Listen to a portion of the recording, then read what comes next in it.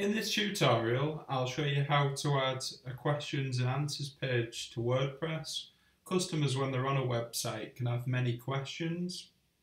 A good way to answer customer questions and queries is by adding a questions and answers page, for example, an FAQ page. So to do that, the first thing you want to do is log into WordPress on an admin account.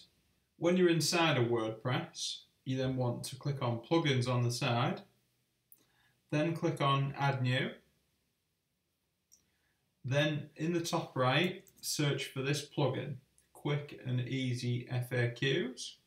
You'll see it here. Click on Install Now.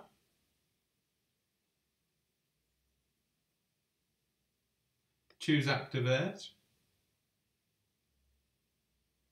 You'll then see the FAQs becomes available on the left. Click on it click on Add New.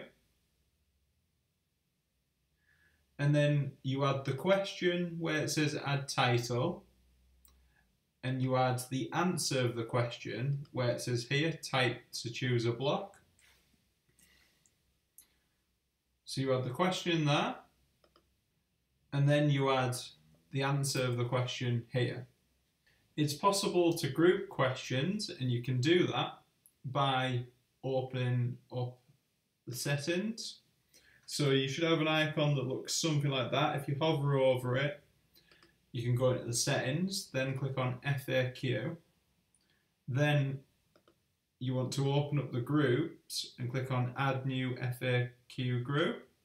Just scroll down a little bit if you can't see this box. And then I'm going to give the group a name so every question, for example, can I return a product if I change my mind, that's assigned to the returns group, you'll see it under that section.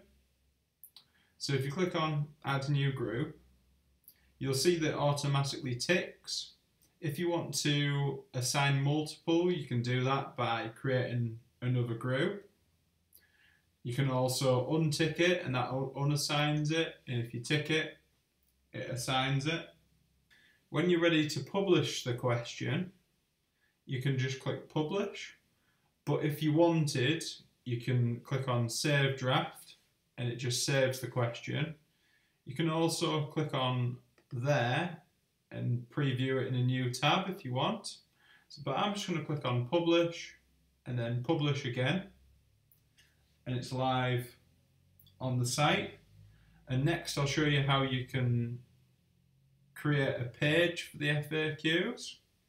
So you want to go back into WordPress. We'll do that by clicking on the W. And then we'll click on Pages. Then click on Add New. We'll just call it simply FAQs. Where it says here, type to choose a block, hit the forward slash, and then just type FAQ. And you can choose from different options here. So I personally just like the simple one, as you can see here. It's possible to save this page by just clicking Save Draft. You can also preview what it looks like there, for example. So that's how it looks like, and you can repeat what I've taught you in this lesson to add numerous questions. If I go back to the page we were on previously, you can of course publish the page by clicking publish and publish again and the page will be live on the site. Next I'll show you how to add the FAQ page to a menu in WordPress. So if you click on the W in the top left, and then you go down to Appearance on the side, and then click on Menus, you can then find the FAQ page, so it'll be under Pages here, but you can choose what menu you want to add it to. So currently there's two there. So pick the menu you want, choose select, then find the page, so the FAQs page, and then click on add to menu. And as you can see there, it appears and you can reorder it if you want by just dragging it or you can leave it where it is and then click on save menu and the menu will be visible on the website.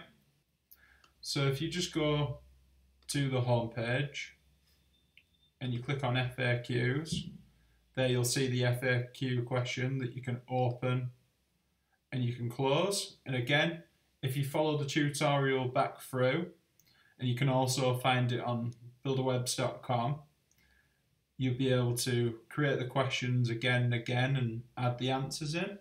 I hope this tutorial has shown you how to add a questions and answers page to WordPress.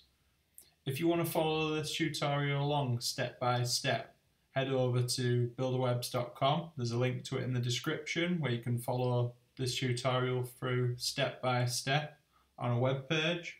I'm Jonathan from Buildawebs and thank you for watching the video.